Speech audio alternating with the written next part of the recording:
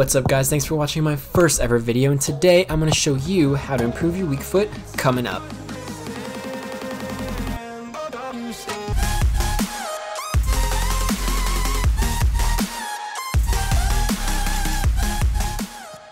So after doing a simple 10 to 15 minute dynamic warm-up just to get the muscles loose, I decided to do about 300 reps of some freestyle juggling, just keeping it below waist height, alternating the feet, and just having some fun with it, you know, getting loose, getting the touches in before a, good training session. Now I'm just going to let this play out a little bit until the next drill.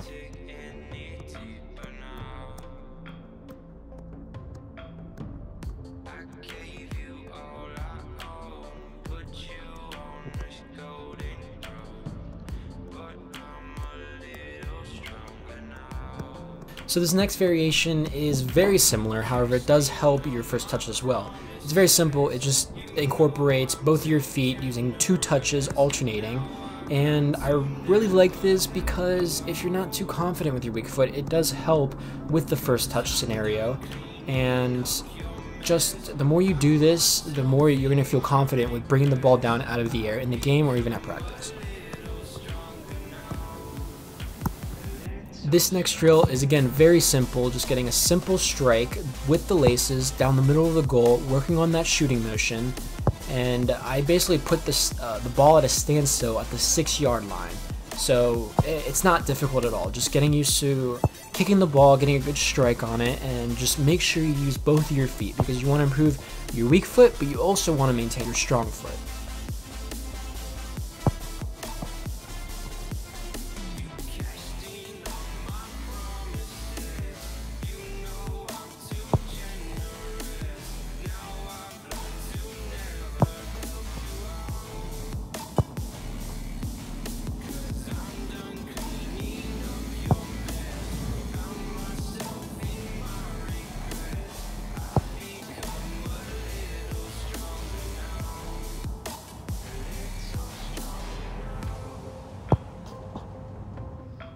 So I actually started at the 12 yard box doing 9 reps of each foot. However, the footage wasn't the best, so I decided not to put in the video. So that's why I'm showing the footage of doing the same thing as the last drill, except the balls are left at the 18 yard line.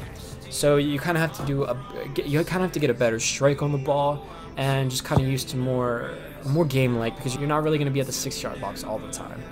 And now I'm just going to let this play out for a little bit. Uh, just remember to do the same amount of reps on both sides of both feet, just to make sure you're getting improvements on both legs.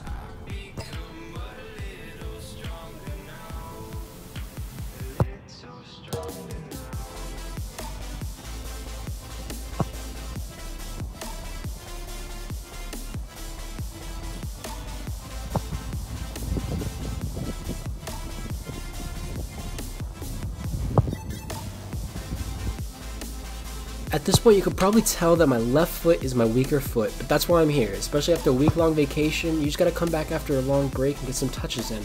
As long as you incorporate these simple drills into your training sessions consistently, your weak foot will improve over time as well, even if it doesn't show right away. So don't get frustrated and keep training.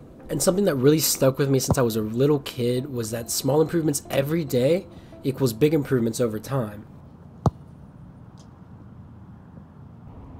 So this next variation is very similar. It's between the 18 and 22 yard area of the field. Um, you basically do a roll to shot. So you, as you see here, I roll to my roll the ball with my foot and then just get a solid strike again down the middle of the goal.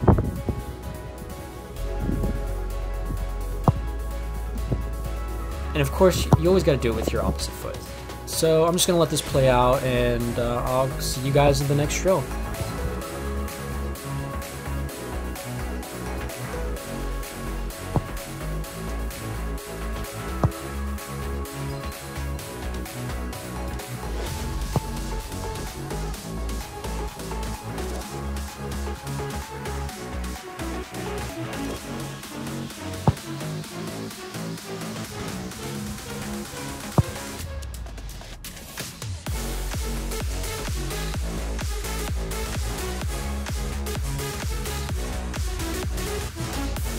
At this point, I already finished all of my reps with the striking, the roll to shot at the 18, about the 18 yard area. So I decided I wanted to work on my free kicks a little bit, and uh, especially with my left foot. So as you can see here, I left the ball at about 20 yards away and just kind of wanted to get a, a good bend to the far post.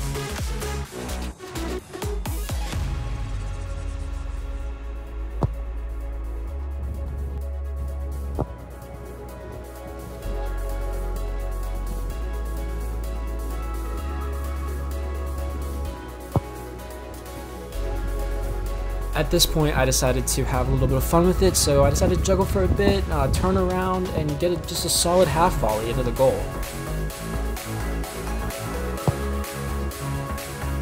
This next shot I decided to do because it was a beautiful day. Even though it was freezing outside, I just wanted to make the most out of my session. So at this point, I was already there for about an hour, hour 15, and I just wanted to improve my close control dribbling a little bit.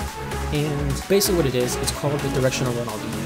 Basically put a bunch of cones or whatever you got, rocks, shoes, water bottles, anything, down in a random order, moving in more of a, a linear fashion. So as you can see here, I just do uh, just freestyle dribbling through going forward for the most part, and 10 yards away was a cone that I turned at with the outside of my foot, and then I go through the go through the cones again, do a move at the, a cone that was about 10 yards away, and just get a, a, a strike on the goal.